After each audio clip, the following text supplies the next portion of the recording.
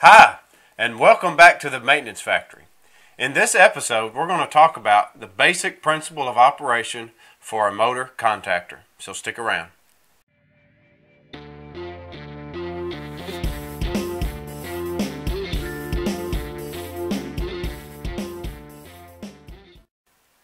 So welcome back to the channel. As mentioned earlier, we're going to talk about the basic principle of operation for a contactor and uh, not the whole entire starter itself, but just the contactor uh, and that only. And what we're going to talk about is how this thing works, uh, what they look like, or at least a couple of examples of what they look like. And then later on in the video, we're going to take one apart on the bench and let you get a good idea of what the parts and pieces look like uh, on the inside of one of these. Um, if you haven't already, I ask that you subscribe to the channel, uh, click the thumbs up or maybe the thumbs down even, and then click that notification bell and you'll be alerted the next time we put out a video. So let's get to it. So if you remember in a previous video, we had talked about the basic principle of operation for a motor control circuit. And on that motor control circuit, you may remember looking at a component that looked like this. And now this component was the uh, contactor for the motor starter circuit and it had an overload connected to it. And we had a motor and I believe in the drawing we had these labeled as L1, L2, and L3. The motor was labeled M1 and to describe what we're looking at here you have basically three components. You have a contactor, which is this portion. You have an overload circuit, and then you have the motor itself. And today's video, we're just going to focus on this portion of the drawing and the physical uh, part that makes this guy up. So in the video, uh, L1, L2, and L3 was connected to um, 480 volts AC, uh, sinusoidal waveform. And this is a pretty common uh, motor starter configuration. Of course, this right here omits the uh, control portion of this, which would start and stop, basically open and close these contacts. But if you missed all that, or if you have questions about that, go back to the previous video and watch it. And it explains how the whole entire uh, piece works together. So I've got a couple examples. I'll get this out of the way here. So one example is a uh, Allen Bradley C60. This is a 100 amp contactor. Um, there's no overload here. This is just strictly the contactor itself. Now, this contactor has got a uh, 120 volts AC coil, and the connection points are on the top. And I'm going to face that toward you. So here are the two terminals for the coil voltage. And then looking back at the face of the unit, you have the line side connections on the top, so these three terminals here, and then you have the load side connections on the bottom, but these three terminals here. This model has also got an auxiliary contactor mounted on the side. Now this unit is capable of uh, handling 100 amps of current, and uh, it's pretty good size contactor, uh, nowhere close to being the biggest, but not real small either. Pretty common. Now another contactor here that's probably more common is a, again another Allen Bradley. It's a 100-C16 contactor. Now this right here is what someone may refer to as a motor starter, which would include the overload.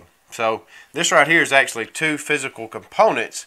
Uh, the contactor portion, which is this upper unit, and then the lower unit is the overload itself. And remember in the video, we're not going to talk about the overload. We're just going to strictly focus on the contactor. And this is the one that I'm going to take apart later on in the video to show you uh, the internals of it. So let's draw a little bit on the board before we do that. That explains a little more about how the thing works. This marker will probably squeak. No, got lucky. Okay. So the internal workings of this contactor, there's going to be a lower iron core that looks like the shape of an E. And that lower iron core is what houses the coil where you would connect your 110 or 120 volt um, control voltage. And you have this coil that's wrapped around the center of this iron uh, core. And then on the contactor itself, this is labeled A1 and A2. Now this A1 and A2 is not related to anything that was drawn on the uh, uh, motor starter circuit in the previous video. This is just something that you'll actually find um, written on the top of the contactor at the terminals. So, like explained earlier, both of these operate on 120 volts, and that's alternating current, sinusoidal waveform. And whenever you apply 120 volts across these two terminals, and then current passes through the wire, there's an electromagnetic field generated in this iron core. Just directly above this is another E-shaped component that I refer to as the armature. Armature. And down here we can call this the coil or you may call it the core. It's actually both. And as uh, current is applied to this coil, this core becomes energized with an electromagnetic field and it wants to attract the armature. As it attracts the armature, the armature moves down and then what it does is it closes this gap. There will be no gap between the two, uh, maybe just a little bit so that when the magnetic field collapses, there's a spring in here that will push the armature back up. And that as it opens it back up, it uh, also opens up the contacts in the contactor. So if you can imagine on uh, the top of this armature is attached a component that holds a set of contacts. And these two little rectangular or square shaped blocks represent two points of contact and this bar also represents a conductor. Just below that, in a stationary portion of the contactor, lies another set of contacts. This side, in this example, we'll say this is connected to the line voltage, which would be the 480 volts three phase that we talked about earlier. Now this does not represent three phases of connection points. Rather, this just represents one set of contacts for what would be in a three-phase motor control circuit. And then on this side, you would connect to the load or the overload in this case that was drawn earlier. Now you can imagine that this bar here and this conductor is attached to the armature. So as this armature is uh, actuated and moves up and down, this uh, conductor bar with contacts moves up and down with it. This, this component and this component are stationary. They do not move. They are basically mounted to the housing or the frame of the contactor. So as 120 volts AC is applied to the coil, an electromagnetic field is generated, it attracts the armature, and then once the armature is attracted to the core, it pulls this contact down, closing the gap here. And then once that gap is closed, now you've created a path for current to flow from the line side to the load side. Now, also when we uh, take apart this contactor, I want to call out some uh, pretty common failure modes that exist. Now, one or one failure mode that I'm probably not going to talk about is actual loose uh, connection points or loose terminations. It's not necessarily a failure of the contactor itself, but it's just a failure of the design of the, the components when they were installed. Uh, because right here you would have a terminal block with a screw, you'd have another terminal block here with a screw, where you would actually insert a wire and if this screw is not fastened properly to the right torque specification, then you'll have a loose terminal. Um, and then that loose terminal is going to generate heat, and that's going to increase your resistance, and then you're going to have other problems. So I, I try to outline all of the failure modes except for that particular one, but it's worth mentioning and uh, worth talking about. So let's go over to the bench and we'll take apart this Allen Bradley contactor and get a better idea of what's inside of it. So here we are at the bench and we're going to take apart this contactor and take a look at the internal workings. So if you recall from earlier, I said that this is actually two separate components. So this section here is considered the contactor and this portion here is considered the overload. So what we want to do is just go ahead and remove this overload. And it's pretty simple. Uh, there's three conductors that are underneath uh, three of these terminals that are on the load side of the contactor. You loosen them up a bit. And then down at the base of the contactor itself, there's a little tab. You pull up on it just a little. Yeah, get a smaller screwdriver here. There we go. And then you just kind of pick up and slide out and the two come apart. It's pretty simple. Excuse me. So, uh, I guess the first thing we want to do is just talk a little bit about the uh, physical layout of the contactor itself.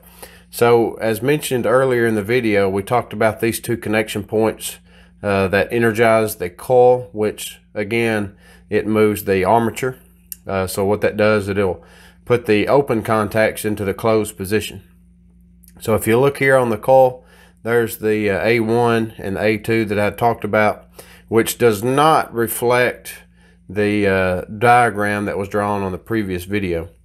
Uh, also, there's a voltage call out here, 120 volts, 60 hertz, and then there's 110 volts at 50 hertz. So having the hertz or the frequency call out uh, keys me up to know that it's a, a sinusoidal waveform, so AC voltage.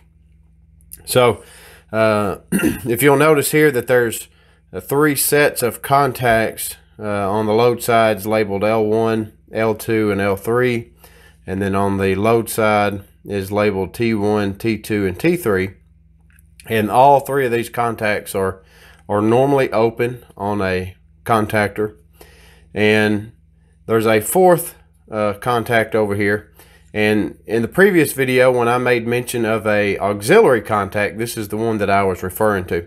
So this auxiliary contact uh, opens and closes or changes states with the three contacts uh, for the motor portion of it. So here you can see it's got a NO, which designates that it's a normally open contact and it's got a considerably smaller surface area on the uh, contact itself and we'll get to that here in a second. Uh, the other thing I may point out is some of these will have an auxiliary contact mounted on either side. It could be on the left side, it could have been on the right side, it could be on both.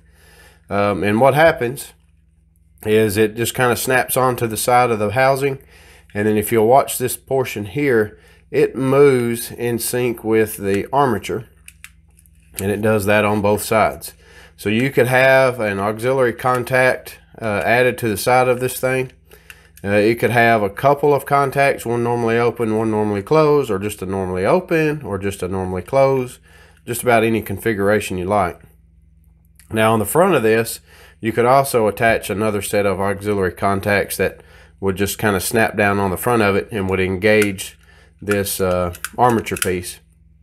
Now this right here also serves a, as a manual button to manually actuate the contactor.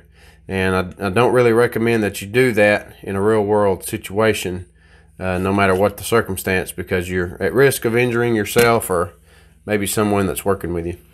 So let's go ahead and get started by taking off the, the front cover here. And we'll just kind of pop it loose. All right, and we'll set it to the side. There's nothing really interesting about it. There's two more um, covers on the top and the bottom here, and we'll get rid of those, set them aside. Now at this point, we have exposed the uh, terminations or the terminal points for the contacts themselves. And uh, it's not really easy to see in there uh, but you can see a brass looking contact right here. Lifting it up with the tip of my screwdriver. It moves in conjunction with this plastic button here or the armature. And that is actually what houses a contact with a conductor bar that allows current to pass from the uh, line side to the load side. So let's go ahead and continue to take this thing apart. Uh, there's a retention spring here and we'll pick up on the body. There we go. There's another retention spring on this side. Now, you'll notice as I lift on it, uh, lift this off, the armature uh, falls down. And below the armature is a spring. And the spring is what's pushing the armature along with the contacts up to keep them in the open position. All right, so if you remember on the drawing earlier, uh, I had drawn an E-shaped um, laminated core section, and here is the actual armature. The core is still in the base of the unit. But you can tell it's nothing more than some steel laminates. They've probably went through a heat treating process or a chemical process, and uh, they've been stamped out on a press, and they've got these rivets that hold them together underneath a, a certain amount of pressure. So there's not any gaps or spaces between them.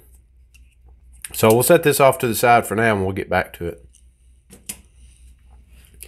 So here is the base of the contactor and it houses the uh, coil which generates the electromagnetic field.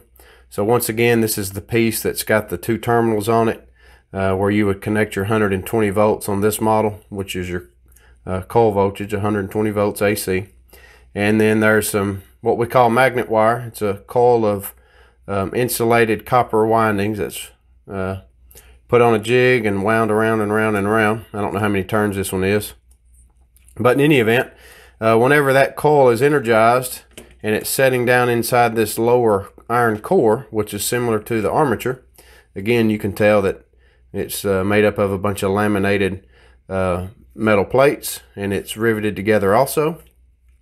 And whenever the coil is inside of that, excuse me, Whenever the coil is inside of that iron core and current is passed through the coil, it generates an electromagnetic field. And then when that electromagnetic field is um, generated, it pulls on this upper armature and pulls it down close in contact with that until there's zero gap between the face of this and the face of that down there. You can tell there's some witness marks here where this uh, bar that's uh, across this iron core, I think that may be a shunt bar, but I'm not sure.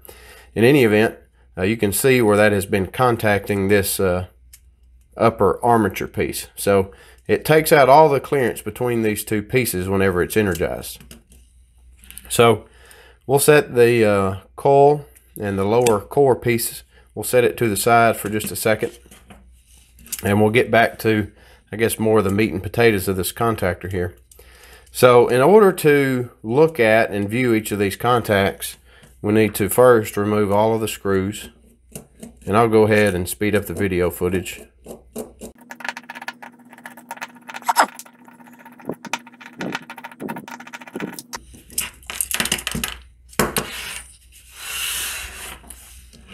Okay, so now we have all of the screws removed.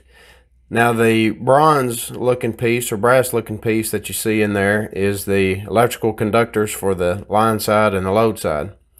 And what we want to do is remove those and then this center armature piece along with the upper contacts will fall out. So this has been taken apart before. So these actually come out pretty easily, but all you have to do is just pull on them basically and they slide right out. Before I go any further, I want to make a pretty important note here. These first three that I pulled out have a pretty large uh, surface area or contact area that passes the electrical current between the two contacts. So you can tell this one has got some pitting and it's got some carbon buildup around the edge. This unit has been in service before.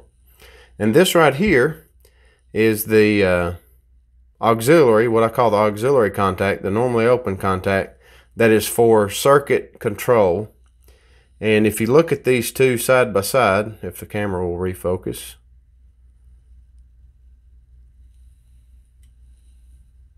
if you look at these two side by side, you can tell the one on the left of your screen has got a larger surface area than the one on the right.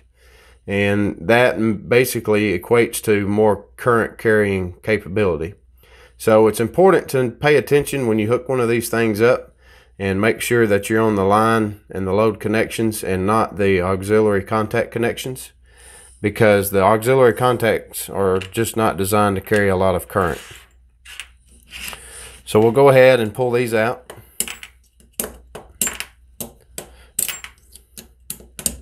Now that now that all of these are out of the way, I should be able to just lift this upper assembly off.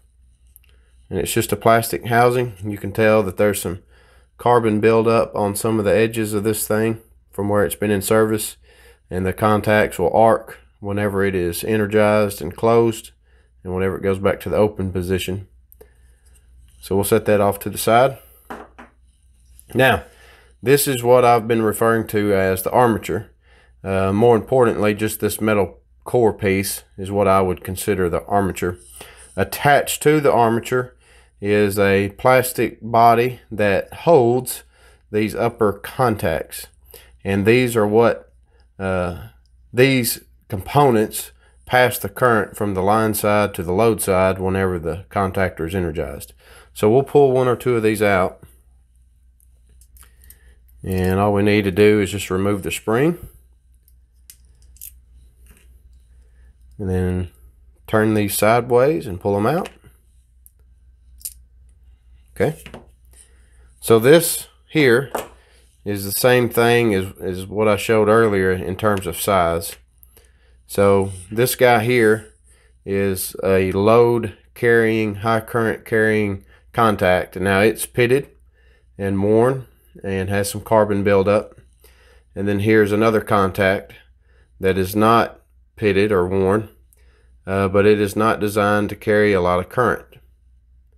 So I just want you to have a look at that just to know that inside this contactor there are different size contacts to carry different amounts of current. Okay, so let's talk about some of the failure modes that may exist uh, within one of these contactors. And I want to put the base and the coil back in focus here. So one of the failure mechanisms that I've seen in the past, and this may be specific to these uh, type of Allen Bradley contactors, but this uh, coil here, as it sets down in here, there's a certain amount of clearance that is needed between the iron core laminates and the uh, inner surface of the coil itself. Now on the bottom section it's not so important as much as it is on the top. Because remember, this armature moves in and out of this coil. And there's quite a bit of clearance here. But if you'll notice, this coil body or assembly is made out of plastic. And if there is a, a for whatever reason or another, if the upper armature does not completely seat and close down on the core whenever it is energized, this coil can begin to produce uh, heat and quite a bit of heat. And if that heat gets to the point where it starts to melt the plastic, then you could have a couple of different scenarios occur. One of which is this upper stator uh, could be fused in the plastic more or less. And whenever that happens, excuse me, you could have the coil voltage uh, drop away and the spring is not strong enough to actually open the contacts up because what's happening is this portion of the iron core is embedded in the plastic of the coil because the coil has gotten hot and it's melted the plastic. That's one scenario. The other scenario is the spring has got enough force to actually move it up, but as this thing suddenly moves down, it gets hung on the plastic uh, inner portion of the coil and doesn't completely close all the way.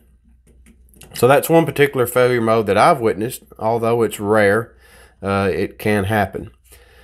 So let's talk about a couple of other scenarios, um, one of which is the actual contacts themselves. And it's a more common failure mode. Um, and the reason why this one was pulled out of service is because the contacts themselves, these guys, these contacts, in relation to uh, the contacts here on the armature, if you can uh, envision these things being in the open position like this, and then whenever the coil is energized, this pulls down and closes the circuit. And there's now continuity between the line side and the load side. Well, from years of service, arcing, and carbon buildup, if if the coil voltage was to drop away and these contacts were to weld shut, then the spring tension is not great enough to push the uh, contacts in the open position.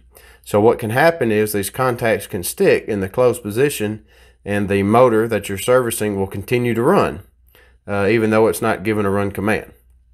So that can be a dangerous uh, scenario. And in the case of this, was not necessarily a dangerous scenario, but we were uh, pumping a uh, waste pit out, and this contactor failed to open, and the pump uh, pumped the pit completely dry until it cavitated the pump and overheated the pump. And we had quite a few other problems after that. And then once once this was corrected and the pit was full of water again, now the pump had lost prime and we're unable to get the, the pit pump down for several hours.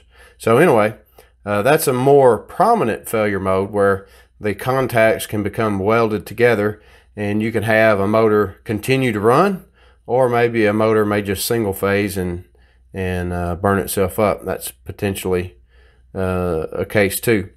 The more likely scenario is going to result in some performance issues and uh, possible downtime of equipment. So as these contacts, again, we'll just show you another example of it. As these contacts um, get many cycles on them under load, they begin to arc and pit and have carbon, buildup. And then as that occurs, uh, the resistance can change between the line side and the load side of the contacts when it's in the closed position. So as this resistance uh, increases, you have more voltage drop across the contacts. And in that scenario, will will then begin to ge generate and build up a lot of heat within the contactor. And then possibly have motor performance issues where motor uh, is not going to run or can't run. Uh, could could cause some other issues, but in any event, that's uh, probably the most common failure modes that I have witnessed with these. I'm sure there's been many more. Um, if you have some that you want to share, just leave a comment down below. If there's anything I missed, feel free to ask me a, a question or uh, leave a comment below. If you got some value out of the video, I ask you to subscribe uh, hit the like button and select that notification bell and you'll be prompted the next time we put a video out. Thanks for watching.